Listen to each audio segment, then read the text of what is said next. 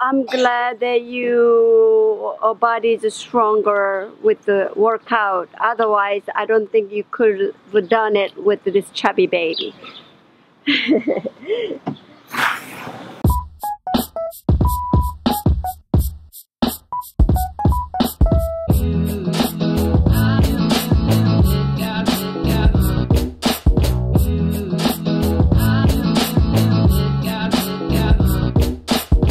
Just me and this guy today. Walking to our breakfast meeting. This actually feels more like a date with no kids in tow. This street that the coffee shop's on, it's only like a five minute walk from our house, the coffee shop. But this is the street the parade was on yesterday. If that helps you wrap your mind around things at all.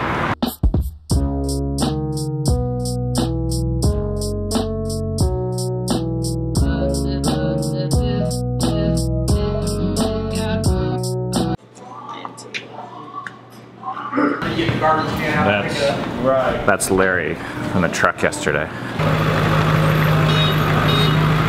I'm gonna try this. It still doesn't taste like amazing to me. There's been this thing that's going on the last three days where Kami keeps on saying like, maybe I'm making all this up. Like right now I feel like I'm hungry. I feel like I'm kind of right on the brink of like feeling bad, but I'm not feeling bad.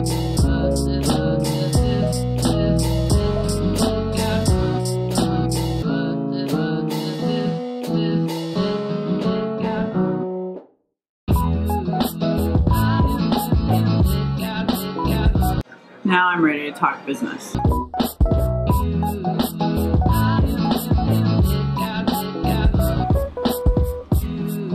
We just hit a home run with that meeting. A lot of these meetings have not felt very productive, but this this meeting, Kami helped me schedule time to write my book. We figured out how to create a music station for the kids. We scheduled a social media class for the kids. And most importantly, we scheduled a weekly time for me with each of the older kids. This has been a hard thing. Growing up, there was ways that Kami and I, we didn't really feel, I don't know how to say this. I'm constantly wondering how much time to invest in the kids and and I want my kids to each feel like I know them and I care about them individually. I've decided I want to try and meet with each child once a week as kind of a bare minimum. It doesn't need to be like a date night necessarily, but I've noticed with the relationships I care about the most, I meet with them once a week. But I don't know how to do that. So Kami helped me. We're going to be starting at 6 a.m.s. I think a lot of people think the fewer kids you have or the more time you have, the more you'll be able to prioritize things. That is not true with me. Even like it's crazy that just the thought of Kami being pregnant, and we don't know if she actually is, is enough to like kick my butt in gear. Like when I have a big trip planned and I have to get, I have like no time, I end up getting a ton done from having a deadline. Uh, I'm way more productive when I have more to do than when I have very little to do. Sometimes I'll sit around all day and not get anything done. And that's how I feel right now with our family. Is I feel like I feel the the pressure in a good way, like ratcheting up. Yeah. It's like it's game time. So when we just had five kids and our youngest was five, we felt like, oh, we've got this. We've got this thing in the bag. Like, this isn't that big of a deal. And that's a little bit dangerous place to be. So it feels really good. It's easy for me to operate with family at a very low bar. Hey, no one's dying. Our kids haven't run away from home. We're good parents. That's one way to look at it. The other is like, it's a war out there. We're gonna fight. We're gonna try and win. We're gonna give it all we got. We're gonna leave our blood on the field. We tend to um, gravitate towards the urgent, not the important. Because I was I was sitting with someone the other day and just listening to them, and I'm like, my 15 year old doesn't have drama in her life to bring me to the point where I'm sitting next to her, listening to her, but maybe I'm supposed to be doing that more with her than than someone else. We want to prioritize and listen to them preventatively to prevent the drama, you know, or the dangerous. Or when the drama hits, as everyone has it, some shape or form, they'll want us there. They'll we'll be the first people they'll they'll naturally want to go to. Man, this meeting was so good.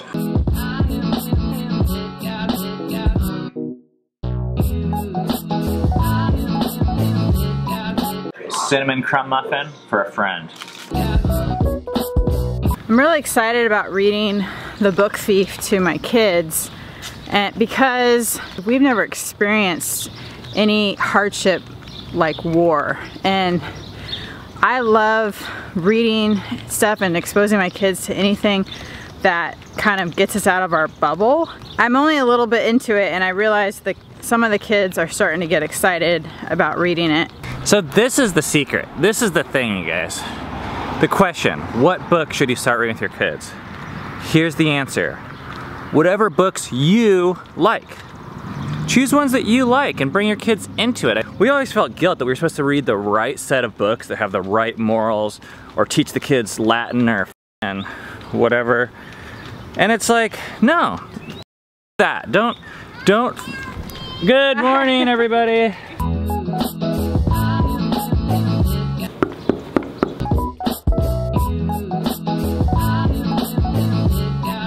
so much. You is it are Tuesday? welcome. It doesn't feel like Tuesday. It is Tuesday, Yesterday. but we. Julia, I don't want you looking out the window. I want you to sit down. Every morning, just after two o'clock, she fell asleep again to the smell of him. It was a mixture of dead cigarettes, decades of paint, and human skin. I've been editing up in this attic. It is so hot up here. How hot is it? Ah! Look, can you see that? It says 91. Alright, I'm going downstairs.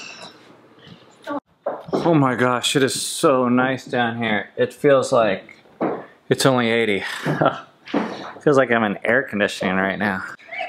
The thing about spending time with our kids that I've noticed is that when I only had one kid, or two kids, or three kids, even back then it didn't feel like I had time because I don't think it really was about time. I think it was about prioritization and ability to connect. But the more kids we've had, ironically, the more we've been able to prioritize and the more capacity we've had to connect with each of them. So even though it's harder in one way because there's more kids, I actually feel like there's more of myself to give than ever. It's really cool. I don't hear that talked about very much. Oh, is someone ready to be a big brother? Ah, ah, ah. We're going for a run. It's hot and humid today.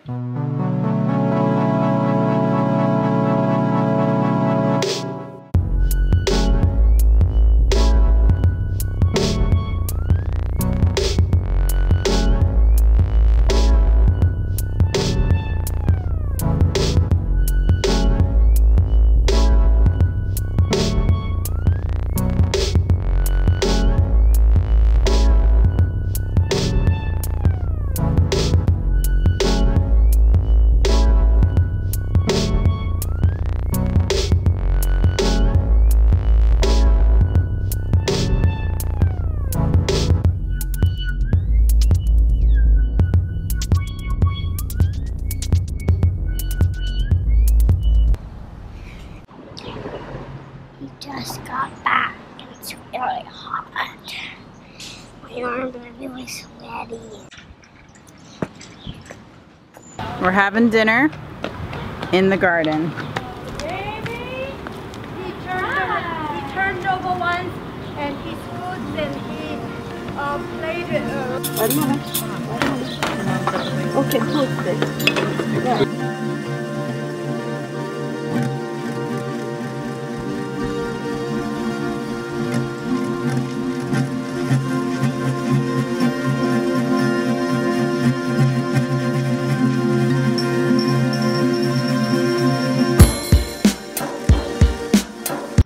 neighbor named Anna who we really like, and she likes us, we think.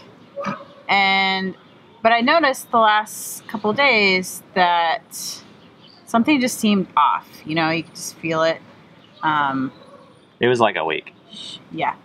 She didn't say hi like she normally said hi. I was like, what's going on? Kami came to me and said, Ben, we need to go talk to Anna.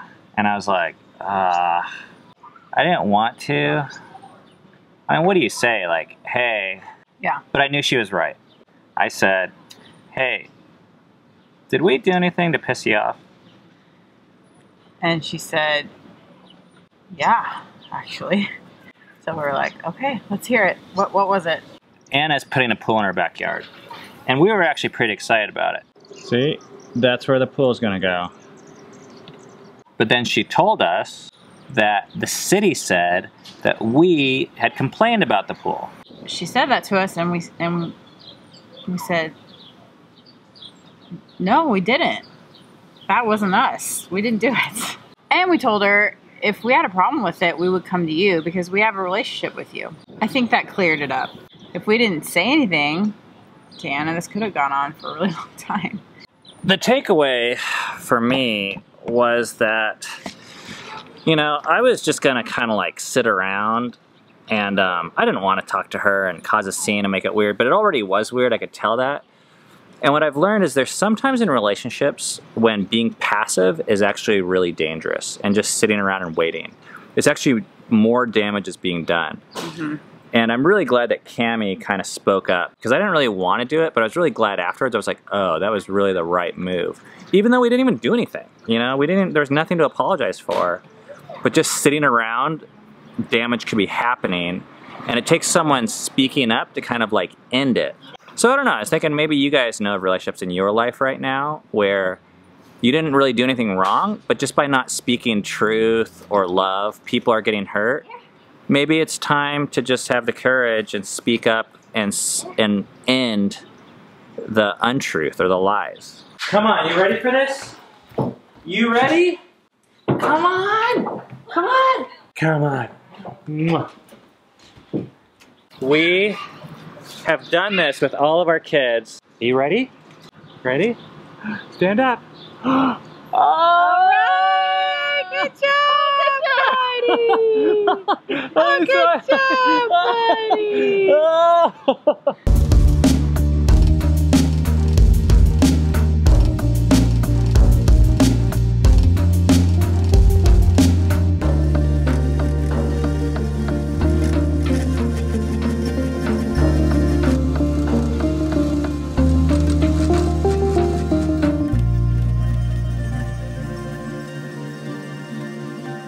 I cannot say anything until my daughter, who is my attorney, is here. Otherwise, I get in trouble.